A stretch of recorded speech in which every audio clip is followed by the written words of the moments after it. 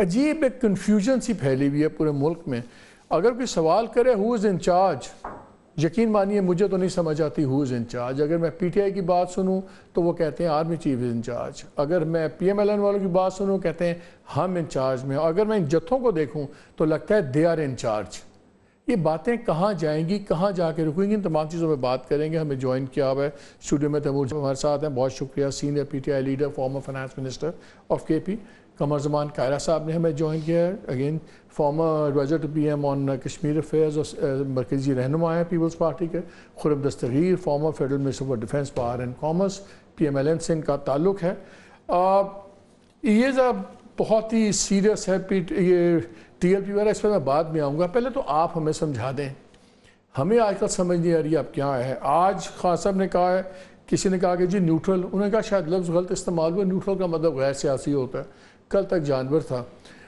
अब दो दिन दिन पहले हमने देखा, एक हफ़्ते से हो रहा है, हम सारे हैरान रह गए, खुशगवार हैरत। सिपा सलार साहब, ये करे, वो करे, हमने पैगाम दिया है। यही जो कल तक इरेलीवेंट रेलिवेंट लोग थे पीएमएलएन वाले, आज इतने ताकतवर हो गए कि ये अब आपकी गलत फहमियाँ पैदा कर रहे हैं। बट आज फिर जब उनसे बात हुआ, उन्होंने इंसिस्ट किया कि 9 मई का मेरा एहतजाज पुरमन था। तो उन्होंने किसी साफ़ी ने पूछा तो फिर वहाँ पे ये वायलेंस क्या हुआ? उन्होंने कहा एहतजाज पुरमन इसलिए नहीं हुआ इसका पहले से इनका पहले से प्लान था। तो उन्होंने दोबारा यही कह दिया कि फ़ौज का फॉल्स फ्लैग ऑपरेशन था। सो so, आप हमें ये बता दें कि इस पर पहले ये समझा दें पीटीआई का अब कौन दुश्मन है किससे आपकी लड़ाई है? कल तक हमारा ख्याल था आर्मी चीफ से है फौज से है। आप कहते थे ये इरेलीवेंट है पीपल्स पार्टी वाले पीएमएलएन वाले। सडनली वहाँ बॉन होमी के मैसेज जा रहे हैं यहाँ पे अब व्हाट इज़ गोइंग ऑन नहीं पीटीआई का दुश्मन तो कोई नहीं। आ, हमारी दोस्त या सपोर्ट जो है वो आवाम की है और बेहद है। And what is going on उस पर भी मैं बात करूँगा और जो आपने कहा कि पाकिस्तान को कौन चला रहा है कौन नहीं चला रहा just half a minute each a minute each देखें व्हाट इज़ गोइंग ऑन जो खान साहब का मैसेज है इसको आउट ऑफ़ कॉन्टेक्स्ट ना लें इट्स वेरी सिंपल जो पाकिस्तान का क्राइसिस है जिसका आपने ही ज़िक्र किया इसका वे फॉरवर्ड तो यही है ना कि डी एस्केलेशन हम्म। खान साहब अपनी तरफ़ से डी एस्केलेशन कर रहे हैं डी एस्केलेशन दोनों तरफों तरफों से होती है। देखिए हमारे आपकी army chief is no longer उनसे आपके खिलाफ खत्म हो गई आई थिंक दैट बिकॉज़ उनसे आज सवाल ये भी हुआ कि आप समझते हैं कि आपके साथ जो कुछ हुआ इसमें आर्मी चीफ का किरदार है उनका जवाब रिपोर्ट हुआ। हमारी पार्टी को किसने इलेक्शन नहीं लड़ने दिया? इस्टेब्लिशमेंट के बगैर ये नहीं हो सकता था। सो फॉल्स फ्लैग भी इन्होंने करवाया। फिर जो आप लोगों के साथ इलेक्शन है वो भी इन्होंने आपसे हटा लिया। तो फिर पीएमएलएन कैसे गलतफहमियाँ पैदा कर रही है? वो मैं I am trying to get it कि आप कहाँ खड़े हैं। तो कोई शक नहीं। पहली चीज़ ये कि मालिक साहब ये भी साबित हो गया कि आप एक सियासी कुत को और एक मकबूल सियासी कुत को जिसके पास आवाम की सपोर्ट हो उसको आप क्रश नहीं कर सकते। ये साबित हो गया। अब अगर पीटीआई एक हुबुल वतन जमात ना होती जो कि है अगर इमरान खान एक रिस्पॉन्सिबल लीडर ना होते तो अपने गिलों का इजहार करते हुए भी हम्म। वो रिकन्सिलियेशन के लिए हाथ ना बढ़ाते। I think this is a positive step जिस पे सबको सोच करना चाहिए। रिस्पॉन्स आई है कोई इसकी पॉजिटिव की? पब्लिक में तो नहीं आई मुझ, मुझमें और मेरे नॉलेज में भी कोई जो है वो नहीं आई। लेकिन गो बैक के क्यों चाहिए? आपने जो दूसरा दूसरी बात कही कि पाकिस्तान में गवर्नेंस क्राइसिस लग रहा है। हम्म। ये लग रहा है कि पता नहीं कि कौन चला रहा है उसकी एक वजह है।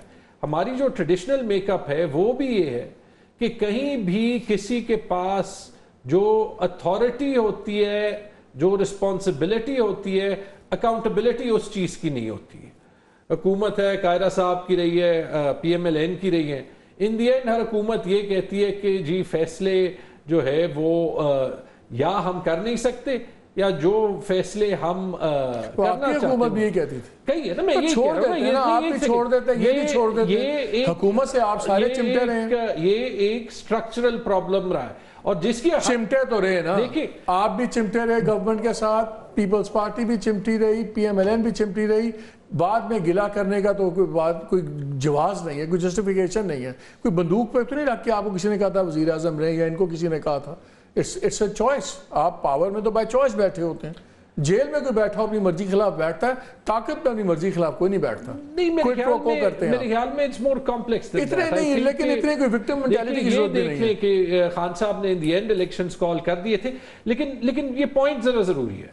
पॉइंट ये है कि अभी अगर हम अपने सिस्टम का ये जो क्राइसिस है जहाँ पे अथॉरिटी कहीं है रिस्पॉन्सिबिलिटी कहीं और है इस कहीं और है अगर ये, अगर ये अगर ये हम फिक्स नहीं करते और उसके लिए ये रिकंसिलिएशन ज़रूरी है अगर ये हम फिक्स नहीं करते तो पीछे तो हम देख सकते अगर अगर आगे कोई अगर उनके पास ही आप कर जाएँगे कोई जाएगा वोट ऑफ़ नो कॉन्फ्रेंस कामयाब कराने के लिए। आप जाएँगे बजट पास कराने के लिए तो फिर ये ऐसे ही रहेगा। ये क्विट प्रो को चलता है। You scratch my back I scratch yours आप सारे मैं तो बराबर के कह रहा हूँ कि जुर्म में जो है वो तब्दील करना कायरा साहब मुझे समझा दें आपको आजकल क्या लग रहा है? पीटीआई कहाँ खड़ी हुई है? कल तक हमारा ख्याल था इनकी बड़ी क्लियर ये बाइनरी पोजीशन है, ये और इंस्टीट्यूशन आपस में लड़े हुए अब वो कहते हैं, हम बहुत अच्छे हैं, लेकिन फॉल्स फ्लैग भी इंस्टीट्यूशन ने कराया हम बहुत, हम हाँ ये आप पीपल्स पार्टी और पी पी वाले बुरे हैं, लेकिन कहते हैं कि अठारह मार्च को मुझे कत्ल किया जाना था, उसके मेरे पास सबूत भी हैं।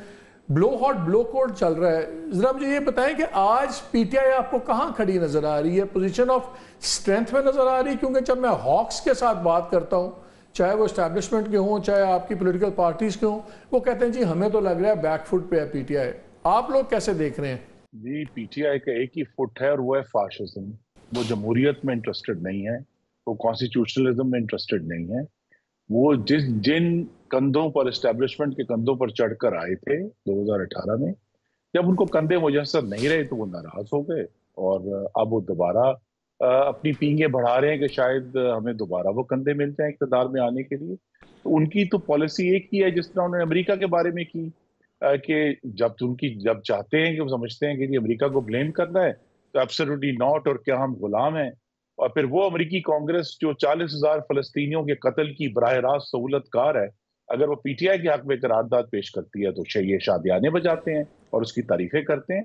तो मकसद सिर्फ़ इकतदार है, वो जिस तरह भी हाथों में आएगा, जब उन्हें समझ समझ आई है कि शायद अभी मजामत से काम नहीं बन रहा तो मफामत की तरफ़ चले गए दूसरा ये है कि जिस क्राइसिस की आप बात कर रहे हैं, उस क्राइसिस का एक हिस्सा ये भी है कि पाकिस्तान की एक्सपोर्ट्स में 11 फ़ीसद इजाफा हुआ है और इकतीस अशारिया एक बिलियन की एक्सपोर्ट्स हुई हैं। उस क्राइसिस का एक ये भी हिस्सा है कि पाकिस्तान की महँगाई जो है, वो अपनी जगह पर आकर रुक गई है। बारह अशारिया छह फ़ीसद जून की जो नंबर्स हैं, हमारे सामने आ गए उस क्राइसिस का ये भी हिस्सा है कि पाकिस्तान के रिज़र्व जो हैं वो पहले से बेहतर हो गए हैं। करंट अकाउंट लेकिन उस क्राइसिस का ये भी हिस्सा है लेकिन खुरम भाई उस क्राइसिस का ये भी हिस्सा है कि जहाँ से आईपीपी के कॉन्ट्रैक्ट्स आप दोनों ने की आपकी दो गवर्नमेंट से किए थे उसके ऊपर से आके सगे भाई सगे भाई को छुरियाँ मार रहे हैं दस दस हज़ार के बिल के ऊपर। लोग अपने जेवर बेचने पर आ गए हैं ये भी उस क्राइसिस का हिस्सा है। और मालिक जी साहब तो अगर एक चीज़ मैं ऐड कर जब जब आप मेरी गुजारिश है कि जब आप दस दस हज़ार के बिल पर कत्ल की कहानी ज़रूर सुनाएँ लेकिन फिर पाकिस्तान की एक्सपोर्ट्स में 11 फ़ीसद बढ़ोतरी की कहानी भी सुनाएँ फिर ये भी बताएँ फैक्ट्स कहानी नहीं है साहब इकोनॉमिक्स इज़ पर्सनल देखें आपका ख्याल ये है आपका ख्याल ये है कि जो बंदा अपने बिल नहीं दे पा रहा जो बंदा फीसें नहीं दे पा रहा उसको इसमें इंटरेस्ट है कि करंट अकाउंट डेफिसिट क्या है? कितने परसेंट इंपोर्ट बढ़ी है कि कमी हुई कितने बस बढ़ी है? नहीं, दो इशू ये है इस बड़ा सिंपल मुझे याद है रोनाल्ड रेगन का इलेक्शन था। सुन ले रोनाल्ड रेगन का कार्टर के खिलाफ इलेक्शन था वो स्टडिंग देयर उसने एक बड़ी मज़ेदार बात पूछी सुन लीजिए। उन्हें एक बात पूछी उन्होंने कहा वो are you better off today than you were five years back आज लोग पूछते हैं क्या आज मेरी ज़िंदगी बेहतर है कि आज से दो साल पहले बेहतर थी? आज लोगों की बदतर है। ये छोड़ दें एक्सपोर्ट फिगर्स क्या? लोग आज इस वक्त अपने बिल्स नहीं दे पा रहे लेकिन उस पर उस पर अलहदा चले जाएँगे। मैं मैं- ये मैं- ये आपसे पूछ रहा हूँ कि लगता ये है कि गवर्नमेंट के पास महँगाई तो 22% क्राइसिस नहीं मैनेजमेंट नहीं हो पा रही। बलोचिस्तान आपसे नहीं संभल रहा केपी आपसे नहीं संभल रहा। ये सारी लॉ एंड ऑर्डर से नहीं समझ रहा। रोज जत्थे आ रहे हैं इन्हीं के उन्हीं को जिनको आपके जोल करते रहे यही पीटी ये टीएलपी वाले। आज आप लोगों को बहुत गुस्सा आ रहा है क्योंकि सीजे साहब पे वो पड़ गए हर बारी आप लोगों ने इनको इनसे बड़े ठुक ठुक के मुआदे किए, सबने बारी बारी। और हमेशा बड़ा उनसे, उसके बाद अपने आप को पैटिंग ऑन द बैक भी की। पहली बात तो यह है कि 11 साल से जिस सूबे में केपी में जिनकी हुकूमत है, उनसे जवाब लेना है कि दहशत गर्दी के बारे में उन, उनका क्या हमत अमली है और उन्होंने क्यों 2021 में वो तहरीक तालिबान पाकिस्तान के दहशत गर्दों को आम माफ़ी देकर वापस लाए इसका नतीजा हम सब भुगत रहे हैं। टीएलपी के साथ तो हमने तो टीएलपी की गोलियाँ खाई। आज एहसन इकबाल साहब ने प्रेस कॉन्फ्रेंस की है। उनसे ज़्यादा क्रेडिबिलिटी किसकी है टीएलपी के सामने खड़े होने की? लेकिन हम सबने उनका सामना किया तो फिर बैन क्यों हटाया था उनसे? बैन करके हटाया क्यों था? वो भी आपने हटाया था। क्यों हटाया था फिर? जी बताइए बैन किसने लगाया था? हमने तो नहीं लगाया था। पंजाब गवर्नमेंट ने बैन लगाया था भाई जान क्या हो गया आपको? फिर राना सनावला साहब की मीटिंग हुई सब कुछ और फिर बैन भी खत्म हो गया। आपकी गवर्नमेंट ने बैन लगाया आप लोगों ने हटाया? पंजाब पंजाब हुकूमत किसी सियासी पार्टी को बैन नहीं कर सकती। ये वफाकी हुकूमत की बर रास्त अथॉरिटी है। और इसका रेफरेंस जो है उस वक्त की पीटीआई की हुकूमत ने भेजा था और उसको खुद वापस ले लिया था ये हमने वापस नहीं लिया था। मैं आपको दुरुस्त मैं मैं भी आपको उसके फिगर्स निकाल देता हूँ मैं निकाल दूँ। कारा साहब ने भी हमें कनेक्ट कर लिया। कारा साहब जरा मुझे ये नहीं नहीं will come back to this will come back to this Kaira साहब ये मुझे बताइए कि पीटीआई की पॉलिटिक्स आजकल बड़ी कंफ्यूजन है। लोगों को समझ नहीं आ रही। ब्लो हॉट ब्लो कोल्ड चल रहा है। और वो कहते हैं गवर्नमेंट वाले और आप लोग एलाइज जो हैं, बड़े परेशान हैं कि कहीं इनकी और फौज की सुलह ना हो जाए. लेकिन आपको सुलह होती नज़र आती है ये सारे मामला में because May ninth red line है इंस्टीट्यूशन की भी। आज भी खान साहब ने यह कहा है कि May ninth basically false flag का वर्ड यूज़ नहीं किया, लेकिन उनसे पूछा गया कि एहतजाज पुरमन क्यों नहीं हुआ? तो उन्होंने कहा, इसलिए नहीं हुआ कि इनका पहले से ये प्लान था। और उन्होंने ये भी कहा कि अठारह मार्च को मुझे कत्ल भी किया जाना था, उसके मेरे प्रूफ है। तो ब्लो हॉट ब्लो कोल्ड चल रहा है। क्या PTI from a position of strength कर रही है या पोजीशन ऑफ़ फ्रस्ट्रेशन कर रही है, जो लेटेस्ट मूव्स हो रही हैं? हमें अपने मौजूदा अहद में जो लम्हा मौजूद है, इसमें हम खड़े हैं। इसको अगर एनालिसिस करना होगा तो आपको अपने माजी से सारे डांटे मिलते नज़र आएँगे। ये कुछ करंट ये पिछले छह महीने, या पिछले दो साल, या पिछले चार साल की ये सारी कमाई नहीं है। हाँ इसमें इन चार सालों या पाँच सालों या छह सालों का भी या दो सालों का भी बड़ा रोल है। लेकिन इससे पीछे भी हम चलते चले जाएँगे। तो ये राइट फ्रॉम द बिगिनिंग हमारे जो मैन्युफैक्चरिंग फॉल्ट थे और हमारे जो एडमिनिस्ट्रेटिव फॉल्ट रहे हैं, उसके नतीजे में आज हम एक जिस तरह एक कंफ्यूज रियासत के तौर पे, अगर मैं फेल ना भी कहूँ तो एक कंफ्यूज रियासत के तौर पे है। और दुनिया हमें एक कंफ्यूज एटमी कुत कह रही है। ये बड़ा खौफनाक हमारे ऊपर एक इल्ज़ाम है। और हम पाकिस्तान के अंदर कंफ्यूज ये है कि सियासी कुतों ने क्या करना है, सियासी जमातों ने क्या करना है, फौज ने क्या करना है एजेंसीज ने क्या करना है। हमारे यहाँ पावर स्ट्रक्चर किसी असूल के तहत नहीं चला और किसी गवर्नमेंट में भी नहीं चला। मैं नहीं समझता कि मैं एलर्ज करूँ सारी जमातों को तो बड़ा काम कर लूँगा। हम एक दूसरे को नीचा दिखाने की कोशिश करते हैं, होता कुछ नहीं है। सवाल ये है कि इस वक्त पाकिस्तान में इकतदार की खींचातानी का आलम ये रहा कि कुछ इकतदार इस्टेब्लिशमेंट के पास चला गया, कुछ थोड़ा बहुत सियासतदानों के पास रह गया, कुछ अदलिया ने अपने पास खींच लिया है। आप भी चौथा पिलर ऑफ़ द स्टेट बन गए हैं। जो वकला हैं, वो अपने आप को पावरफुल समझते हैं। इस मुल्क के ओलमा वो अपने आप को अकाउंटेबल समझता ही नहीं है। सो इस मुल्क का या तो इकतदार जो है, वो एवेपोरेट हुआ पड़ा है कंफ्यूज है। और अगर है भी तो खेचा तानी के नतीजे में मुख्त जगहों पर डिवाइडेड है। तो ये हमारा सबसे बड़ा प्रॉब्लम है कि लोग किसकी तरफ़ देखे? किसकी तरफ़ देख के लोग फैसले कर सकेंगे? हाँ हम सियासी सिद्धांत जिसमें कसूरवार है, बिल्कुल है। और जब तक सियासी मसले का हल, वही जमात मतलब मैं पीटीआई को भी कहूँगा, भाई आप तो हम में भी खामियाँ हैं, मुस्लिम लीग में भी हैं, हम भी इंसान हैं, वो भी इंसान है, आप भी इंसान है। कोई फरिश्ता नहीं है। लेकिन आप जरा ये बता दीजिए कि आप सियासी कुतों के साथ बैठ के ही सिविल सुप्रीमेसी की बात कर सकते हैं ना। आप एकदम अमेरिका और बरतानिया और नॉर्वे और स्कैंडिनेविया नहीं बन सकते। हम भी इलेक्शन के ऊपर एतराजात करते रहे और फोरम्स को एड्रेस करते रहे। अल्टीमेटली सियासी कुतें बैठ के ये इंच बाई इंच आपने अपनी पोजीशन बनानी है।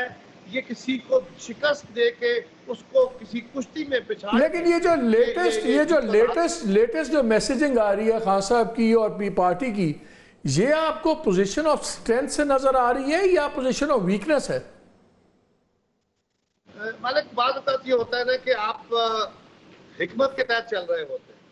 जो कन्फ्रंटेशन है, मैं अगर इसको एनालिसिस करके देखो, हो सकता है मैं गलत हो सकता है मैं ठीक हूँ, लेकिन मेरा एनालिसिस ये इमरान खान साहब की पॉलिटिक्स का ये है कि खान साहब आज तक वो right from the sportsman character जो था, इमरान खान एज स्पोर्ट्स में वो वहाँ से लड़ते हुए आ रहे हैं तो वो तल्ख किस्म की पॉलिटिक्स है, तल्ख किस्म का खेल खेलते रहे हैं। तो वहाँ भी वो बहुत अग्रेसिव थे। उसके बाद भी, सियासत में आए यहाँ भी। उन्होंने अपनी पूरी ज़िंदगी में इसी से गेन किया। लिहाजा वो मेंटली स्ट्रक्चर्ड है कि मैंने जहाँ जहाँ, पहले वो मुस्लिम लीग पीपल्स पार्टी को बराबर ला कह के अपने आप को पॉइंट ऑफ़ स्ट्रेंथ पे ले गए एस्टेब्लिशमेंट का साथ चल के। अब एस्टेब्लिशमेंट से नहीं बनी, हालाँकि बनना चाहते थे। लेकिन फिर उनके खिलाफ और उनको और हम हम सबको भी क्लब कर तो यो वो इसको लम्हाती तौर पर आप लोग क्यों नहीं बात करते? ले, ले, ले, ले लेते हैं जरा तैमूर साहब को। हर में इम्परफेक्शन है। आप लोग क्यों नहीं बात नहीं, करते हमें तो कोई एतराज़ कभी नहीं रहा। मालिक मुझे तो कभी एतराज़ नहीं रहा। तैमूर साहब नहीं तैमूर साहब से पूछते क्यों नहीं बात करते आप? खाली सिर्फ़ खान साहब की तरफ़। आप इतने भाई बात देते पे कहाँ बैठे हुए देखिए जो कायरा साहब ने पहली टू थर्ड्स बात की ना उससे मैं सौ फ़ीसद अग्री करता हूँ कि जो हमारी अथॉरिटी का लैंडस्केप है वो फ्रैगमेंटेड है। दस फ़ीसद सियासतदान के पास चालीस फ़ीसद उन ब्यूरोक्रेसी के पास जिन्होंने काम ही नहीं करना पचास फ़ीसद हमारी एस्टेब्लिशमेंट के साथ। और जिसकी जिस चीज़ की अकाउंटेबिलिटी होती है कागज़ पे उसकी अथॉरिटी उसकी है ही नहीं ठीक है? और ये भी कायरा साहब ठीक कह रहे हैं। मैं- बातें एग्री कर रहा ली ना ये तो मैं यही कह रहा हूँ आप. लोग क्यों बात नहीं करते? अंदर से आपके पैगाम खास तौर पे आर्मी चीफ के लिए क्यों जा रहे हैं? सर नहीं खास तौर पे आर्मी चीफ के लिए नहीं जा रहे हम। शीरा हैं नाम लेके कह रही हैं। गौर साहब आते हैं उमर अयूब साहब सिपा सालार वो भी नाम लेके कह रहे हैं। आपने सवाल पूछा आप जवाब दे ना। हाँ। ठीक है? अगर कायरा साहब वहाँ पे रहे जहाँ पे उन्होंने ये बात की तो मेरे ख्याल में जितनी भी तलखियाँ सियासतदान एक दूसरे से बात कर लेंगे। हम जाते हैं माजी में और माजी में जो है वो पत्नी क्या क्या खोदते हैं? फ़िलहाल आई एम सॉरी जो इशू है वो है 2024 के इलेक्शन का। जब आप अभी बात करना चाहते हैं तो आपको ये तो एडमिट करना पड़ेगा कि यहाँ पे शायद कुछ गलत हुआ। आप ये नहीं कह सकते कि इस पे मिट्टी पाओ। तो फिर आप भी आप भी जब मे, ये आप भी मे नाइन्थ एडमिट कर लें वो इलेक्शन मिट कर लें चले फिर बातचीत शुरू कर मालिक साहब हम मे नाइन्थ में क्या एडमिट कर ले? हमने तो कह दिया केपी के गवर्नमेंट ने वहाँ पे जुडिशियल कमीशन का भी कह दिया ना। देखे ये भी तो हो सकता है कि हालाँकि मे नाइन वॉज़ भाई खाली केपी में तो नहीं हुए ना हमले बाकी तमाम जगहों पे हुए तमाम शहरों में हुए हैं। उसमें केपी का अ, कमीशन क्या करेगा? वो तो उसकी जुरिस्डिक्शन अभी- पाकिस्तान की तो नहीं है। अभी बनू में इंसिडेंट हुआ। मालिक मुझे एक मिनट देना। अभी एक एक सेकंड कायरा साहब। अभी बलूचिस्तान में इंसिडेंट्स हुए ना ठीक है? जहाँ पे प्रोसेशन हो जाती है कहीं लॉ इन्फोर्समेंट एजेंसी से गोली चल जाती है कहीं कहीं जो है वो चले आप ये भी कह लें कि शरपसंद थे या नहीं थे या जो भी था लेकिन- दैट इज़ नॉट समथिंग ये पहली बार ना आखिरी जब बार आपको पता है कि जुलूसों में बड़ी आराम से मैनिपुलेट भी होता है कहीं से बात कहीं जा सकती है और फिर आप लोगों को सेंसिटिव जगहों पे भेजेंगे तो फिर आप लोग नहीं, मालिक साहब- फिर एक सेकंड फिर आप कैलकुलेटेड रिस्क ले रहे हैं ना? मालिक साहब ये तो ऐसे हुआ या तो लोगों को तब भेजें जब एब्सोल्यूट कंट्रोल आपको तो बना ये तो ये तो ऐसे हुआ ना जैसे कहना है कि चूँकि आपका गाड़ी में जाके एक्सीडेंट हो तो सकता इसका मतलब करवाया है। आप अभी तक उसी पे हैं कि फॉल्स नहीं, फ्लैग सॉरी ये कभी नहीं कहा कि ये कि ये जो है वो पीटीआई ने करवाया है। आप कर लें नाइन्थ मई की इंक्वायरी लेकिन ये मैं आपको कह दूँ अगर हुकूमत का स्टांस सही होता तो ये इतनी फ्रस्ट्रेशन ना ज़ाहिर करते कि इसकी प्रोसिक्यूशन क्यों नहीं हो रही? प्रोसिक्यूशन इसलिए नहीं हो रही कि जो ये क्लेम कर रहे हैं इनके पास सबूत नहीं है और सबूत इसलिए नहीं है क्योंकि जो ये क्लेम कर रहे हैं पीटीआई के अगेंस्ट वो, तो ये वो कहते हैं मिलिट्री कोर्ट अगर आप इतने कॉन्फिडेंट है तो चले जाए मिलिट्री कोर्ट्स में। फिर नहीं क्यों डरते हैं वहाँ? अगर आप इतने कॉन्फिडेंट हैं कि किसी के पास सबूत नहीं है तो चले जाए मिलिट्री कोर्ट्स में गोको ठीक है कर लो मिलिट्री कोर्ट्स का ट्रायल ओपन कर दें। आप ये मुतालबा करते हैं मिलिट्री कोर्ट्स में चले जाते हैं आप हमारा ट्रायल ओपन कर दें। लोगों को पता लगेगा कि किस तरह ट्रायल हुआ। सॉरी ये कहने के लिए बात ठीक है लेकिन मेरे ख्याल में if you have to learn something from our past और ये गलतियाँ बाकी हम सबने की है हमारे टाइम में भी 25 27 लोग जो है वो मिलिट्री कोर्ट्स में वो हुए थे। लेट्स बी क्लियर हमारा जुडिशल सिस्टम इतना मज़बूत होना चाहिए कि मिलिट्री कोर्ट्स में सिविलियंस का ट्रायल नहीं होना चाहिए। और ये बात I am sorry in political parties को सपोर्ट कारा करना साहब कोई कमेंट मैंने ब्रेक लेनी आप कुछ कहना चाह रहे थे। मैं सिर्फ़ इतनी गुजारिश करूँ मालिक जो है ना कि गाड़ी का एक्सीडेंट होना हो तो आप रिस्क ले लेते हैं। लेकिन अगर गाड़ी हमें गाड़ी वाला मैन्युफैक्चरर कहता है कि भाई इस गाड़ी को अगर आप 100 किलोमीटर पर चलाओगे तो कंपैरेटिवली कम रिस्क है।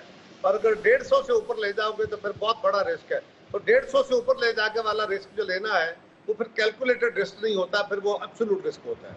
दूसरी गुजारिश, मैं सिर्फ़ ये कह रहा हूँ कि पीटीआई का जो क्लेम है कि 2024 इलेक्शन में हमारा मैंडेट छीना गया है, इसकी सर्टेनमेंट किसी पॉलिटिकल पार्टी ने नहीं करनी। ये राइट है या रॉन्ग है, इसको छोड़ ये कोई जमात एडमिट नहीं करेगी या करेगी तो फ़र्क नहीं होगा।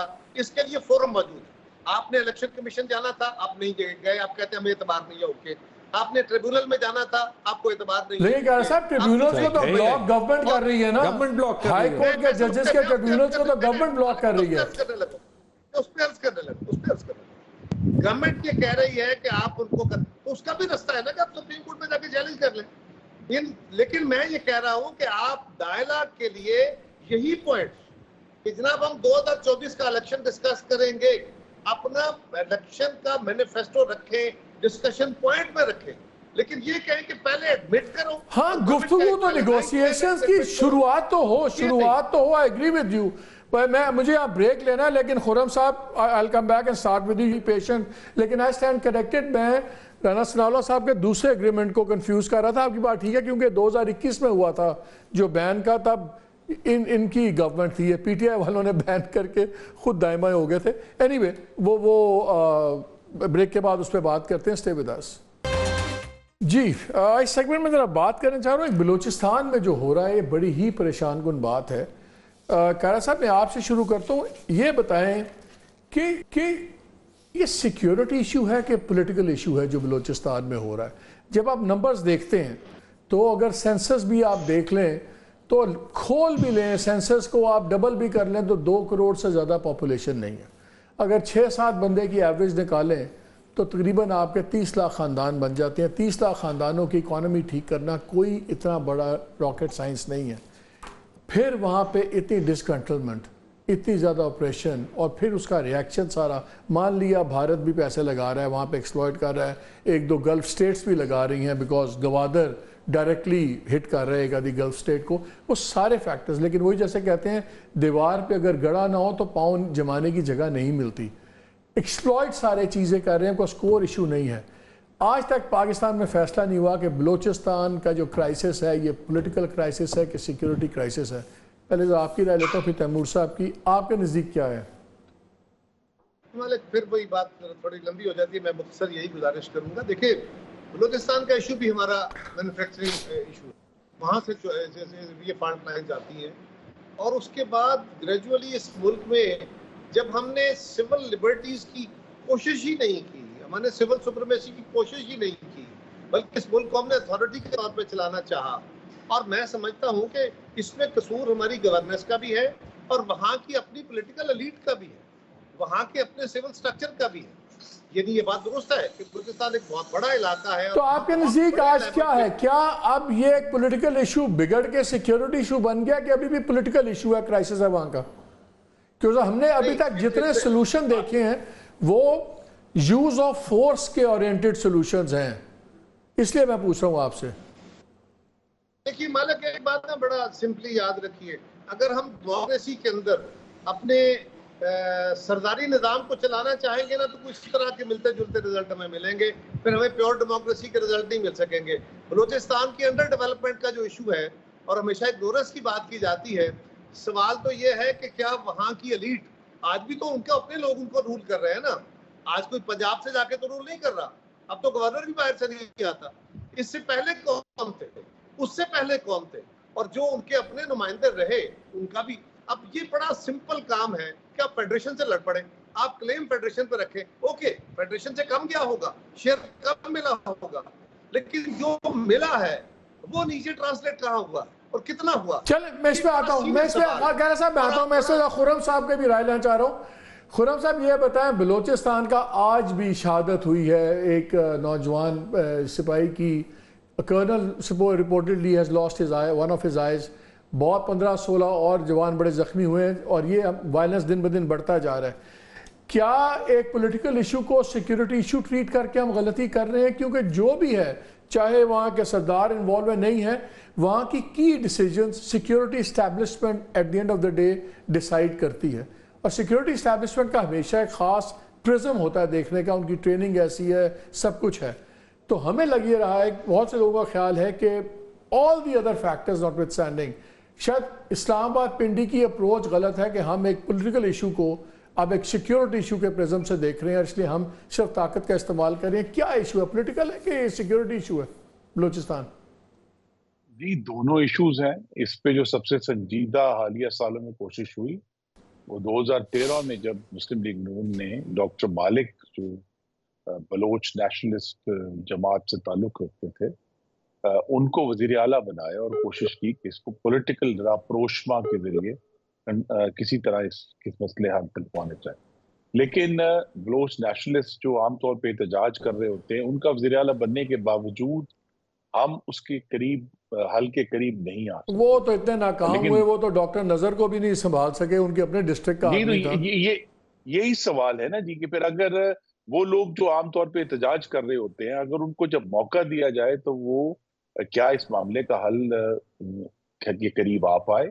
बहरहाल हमें वक्त के साथ साथ यही तो उम्मीद करनी चाहिए कि हर जो इंतबात हैं, वो हमें बेहतरी की तरफ़ लेकर जाएँगे लेकिन ऐसा नहीं हो रहा। और इसीलिए इसका हल पॉलिटिकल भी है, लेकिन हम इस बात से आपके नहीं चुरा सकते कि बलोचिस्तान के मामले में जो पाकिस्तान के मुखालिफ कुतें हैं, हिंदुस्तान है इवन ईरान के अंदर लेकिन हमारी अपनी अप्रोच भी क्लियर नहीं है ना। मैं इसलिए I am just trying to get a sense of that कि आप लोग पॉलिटिकल लीडरशिप बैठे हुई ना आप तीन जमातों के सीनियर लीडर्स बैठे हैं। यही अप्रोच देखिए अप्रोच यही है कि पहले तो अफगान जो बलोचिस्तान है उसकी जो टेरिटरी पे हमारी जो गवर्नेंस को कायम करना है। वो एक मुश्किल काम है उसका स्पेस अगर आप जेन्युइन लीडरशिप कर लेंगे तो हो जाएगी गवर्नेंस अगर आप प्लांटेड रखेंगे मर्ज़ी के सरदार जिताएँगे लोग जिताएँगे तो, तो फिर कैसे होगी गवर्नेंस उस तरफ़ उस तरफ़ जैसा मैंने कहा हमने पेशरत करके देखी मामला नहीं हल हुआ लेकिन बहरहाल अगर जमहूरियत में कोई कमियाँ है तो उसका इलाज मजीद एक डॉक्टर तो मालिक एक्सपेरिमेंट फेल हुआ तो पूरा आपने कॉन्सेप्ट ही फेल कर दिया।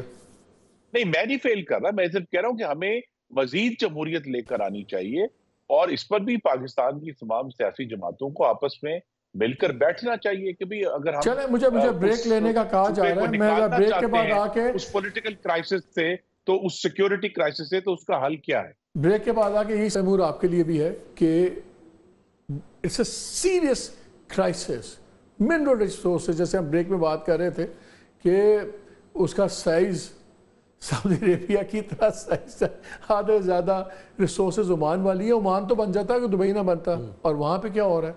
पचास पचास हज़ार पे लोग मार रहे हैं एक दूसरे को और भर्ती हो रहे हैं और एक अजीब कॉन्सेप्ट बन गया हुआ है। बात करते हैं ब्रेक के बाद। जी वेलकम बैक टू शो या सेम क्वेश्चन ब्रेक से पहले बातें तो बहुत ही मसालेदार, लेकिन ये बड़ी सीरियस गुफ्तु है। क्या बलोचिस्तान के हम गलत लेंस से देख रहे हैं? ये पॉलिटिकल इशू बिगड़ के सिक्योरिटी इशू बन गया है कि शुरू से ही हमने इसको सिक्योरिटी इशू बना के और इसको हम कंट्रोल में नहीं आ रही चीज़। देखिए दोनों जो मेरे दोस्त हैं they are both more senior to me in politics लेकिन I think they skirted around the issue let's be honest Balochistan अगर सॉल्व होगा तो वो एक पॉलिटिकल इशू के तौर पे देखना पड़ेगा। फोर्स बी बिगेट्स रिजेंटमेंट ताकत का इस्तेमाल आप इस्तेमाल करते हैं अपने मुल्क के अंदर उससे तलखियाँ ही बढ़ सिविलियंस क्यों पीछे चले गए हैं? वहाँ पर सिक्योरिटी स्टैब्लिशमेंट को क्यों फैसले करने पड़ रहे हैं? पोलिटिकल फैसले भी आखिर क्यों? ये आई एम श्योर कि सिविलियंस का भी फॉल्ट है और सिक्योरिटी इस्टेब्लिशमेंट का भी फॉल्ट है। दोनों की गलती होगी ज़रूर। देखें ये जनरली माना जाता है कि इंटीरियर सिंध में और बलूचिस्तान में करप्शन ज़्यादा होती है या वहाँ पे जो लोकल लीडरशिप होती है वहाँ पे शायद सोसाइटी और लीडरशिप में हायरार्की ज़्यादा है। लेकिन उसकी एक वजह यह भी है कि हमने उस हायरार्की को सही तरीके से तोड़ने की कोशिश नहीं की। ये हमें याद रखना चाहिए कि पहली चीज़ बलूचिस्तान पाकिस्तान का सबसे ख़ास हिस्सा है। आ, सबसे कम पॉपुलेशन थी सबसे ज़्यादा वसाइल थे। ये एक हकीकत है कि वो वसाइल डेकेड्स के लिए बाकी पाकिस्तान में इस्तेमाल हुए। आपने बिल्कुल ठीक कहा कि वो वसाइल जो है अगर वो बलूचिस्तान पे लग दे तो दुबई ना ओमान तो बन जाता। वही सोसाइटीज थी ट्राइबल सोसाइटीज थी। तो अगर बलूचिस्तान ने पाकिस्तान के लिए इतनी कुर्बानी दी है अगर किसी की स्टेट से थोड़ी बहुत तलखी भी है तो उसके can't put in arm Bannu में गोली चलती है कोई मरता है एकदम गवर्नमेंट इन्वॉल्व होती है फौज को भी प्रोटेक्ट करती है और चीज़ों को काम डाउन करती है। बलूचिस्तान में अगर कोई मरता है हमें गवर्नमेंट की वो अर्जेंसी नज़र नहीं आती। बन्नू में और ग्वादर में फ़र्क क्यों है? क्योंकि खैबर पख्तूनख्वा पंजाब के मुकाबले में शायद कम मेन स्ट्रीम हो, लेकिन बलोचिस्तान के मुकाबले में बिल्कुल पाकिस्तान के मेन स्ट्रीम में है।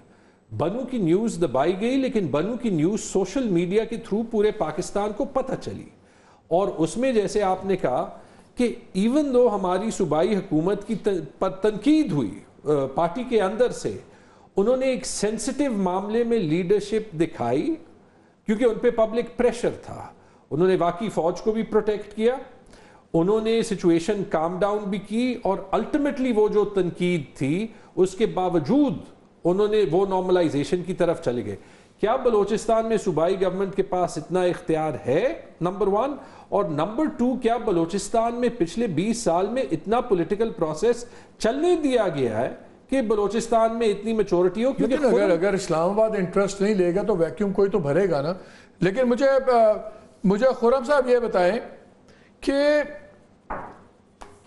वैसे तो बातचीत आपकी पार्टीज़ नहीं कर रही है। मैं बलोचिस्तान और केपी की सिचुएशन से जेनवनली बहुत परेशान हूँ। क्या ये जो दो की नेशनल सिक्योरिटी के इश्यूज़ हैं क्या इस पर अगर एक ऑल पार्टीज़ कॉन्फ्रेंस बुला ली जाए और उसमें सारी पार्टीज़ बैठी हों क्या एक अच्छा स्टार्ट नहीं होगा? जो अल्टीमेटली हो सकता है आपके दूसरे पॉलिटिकल इश्यूज़ में भी फिर अगली बारी बैठने पे आप लोग तैयार हो।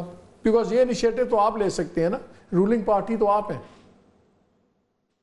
जी, लेकिन हमें ज़रूर बड़ी अच्छी बात है तो बुलाना चाहिए। ये बात याद रखें टीटीपी सिर्फ़ खैबर पख्तूनख्वा में तो नहीं है ना? वो बलूचिस्तान में भी है। और बलूचिस्तान के साथ भी अफ़गानिस्तान का एक तवील बॉर्डर लगता है। जो सदन उसके प्रोविंसेस है हेलमंद उसके साथ लगता है। तो लिहाजा वहाँ भी अगर हम हम ये कहेंगे कि वहाँ टीटीपी सिर्फ़ केपी में है और यहाँ नहीं है यहाँ भी मौजूद है तो वो चैलेंज है। हिंदुस्तान की जो इंटरफेरेंस है उसका चैलेंज है। तो इस पर ज़रूर हमें बात करनी चाहिए और ये साहिब तजवीज़ है कि तमाम जमातों को इस इशू पर इकट्ठा करके कि भाई ठीक है हम सारे डिफरेंसेस होंगे लेकिन ये जो टेररिज्म तो हुआ क्या? आप लोगों ने अजम इस्तेकाम के ऊपर अनाउंस किया था कि एपीसी होगी। फिर गवर्नमेंट सो गई उस पर बात ही नहीं हुई उसमें कहाँ गई वो एपीसी पीटीआई वालों ने तो अनाउंस भी कर दिया था कि हम ज्वाइन करेंगे हम पार्टिसिपेट करेंगे उसमें जी एपीसी भी होगी कल पार्लियामान का इजलास शुरू हो रहा है इस उसमें भी इस पर बात होगी। क्योंकि बन्नू वाला जो वाक्य है उसने भी हम सबको बहुत तशवीश में मुबतला किया है और बलोचिस्तान में भी जो इश्यूज़ उठ रहे हैं बार बार वो भी हमें दूसरा ये है कि हमें बड़े सीरियसली सोचना है कि बलोचिस्तान की में रहने वाले जो हैं उनकी जो रोज़गार का तरीका क्या होगा? क्योंकि जब भी अब फोर्स की बात होती है तो वहाँ आप कहते हैं कि वहाँ तो सारा जो लोगों का दारो मदार ज़िंदगी के लिए स्मगलिंग के ऊपर है। जब स्मगलिंग को परफोर्स रोका जाता है ये ये same question I am running out of time Khurram I think your points made साहब बात करें। और बलूचिस्तान असेंबली के अरकान को भी इसमें कारा साहब इसको टॉप प्रायोरिटी कैसे बनाया जाए? क्या वो एपीसी जो इलूसिव एपीसी हो ही नहीं रही? क्या वो एज अ फ़र्स्ट प्रायोरिटी नहीं होनी चाहिए? उस पर पीटीआई भी तैयार है आने के लिए ये national security issues because Balochistan और केपी की जेनुअनली सीरियस हालात बड़े ख़राब हैं। मालिक इसके साथ कश्मीर को भी शामिल कर लें। और जीबी के भी कुछ हिस्से तो यहाँ भी ऐसी एक कौम परस्ती का एक जो आज़ाब है, वो अपनी जगह मौजूद है। अब सवाल ये है कि हमने वहाँ पे गवर्नेंस नहीं होने दी और पोलिटिकल प्रोसेस स्पेस नहीं दी गई, उनकी क्यादत को तो ये स्पेस तो मुल्क भर में इतनी नहीं थी। और हर दौर में वहाँ की पोलिटिकल लीडरशिप आती रही। मैं तो ये समझता हूँ, मालिक साहब, कि ताकत तो मसले का हल कभी नहीं है। लेकिन मेरा ख्याल है जितनी भी इससे पहले आगाज़ क्योंकि बलोचिस्तान हमारे दौर में हुआ एपीसी हुई बहुत सारे इस पर बातें हुई और यही हुआ कि इसका पोलिटिकल हल निकाला जाए। इसका जो उनके महरूमिया है उसका हल निकाला जाए लेकिन जो भी हल निकाला गया वो महरूमिया नीचे तक उसी तरह रही। सही। कारा साहब I run out of time I am sorry मैं आपकी आपकी बात कंप्लीट नहीं हो पाई। माजरत we run out of time Nazin TLP के ऊपर तो मैं कल बात करूँगा, तफसील तो से करूँगा बिकॉज़ वो बड़ा सीरियस इशू है और उसको हम पासिंग में बात नहीं कर सकते, वो बड़े हालात किसी और तरफ़ जा रहे हैं। लेकिन ये बलूचिस्तान और के पी ये ना सिविलियन इशू है, ना ये आर्मी का इशू है, ये पाकिस्तान का इशू है। और इसमें पॉलिटिशियंस और सिक्योरिटी इस्टेब्लिशमेंट को मिल के काम करना होगा और इसको देखना पोलिटिकल पर्सपेक्टिव से होगा। वरना यहाँ जो लोगों की डिप्रिवेशन हैं, जो इकॉनमी के हालात हैं, वो एक राइप कलिंग फील्ड्स हैं टेररिस्ट लोगों के लिए इंटरनेशनल फोर्सेस के लिए। वो आपको मजबूरियाँ ख़रीदने के लिए उससे बेहतर जगह कोई नहीं है। सो कोई खुदा के नाम पे किसी को आगे लगा लेता है, कोई नेशनलिज्म के नाम पे लगा लेता है तो कोई कल्चर के नाम पे लगा लेता है, लेकिन it all boils down to economics exploitation बंद होनी चाहिए और लोकल रिसोर्स पे लोकल लोगों को लाना होगा। ये इस्लामाबाद और पिंडी का सोल्यूशन नहीं है।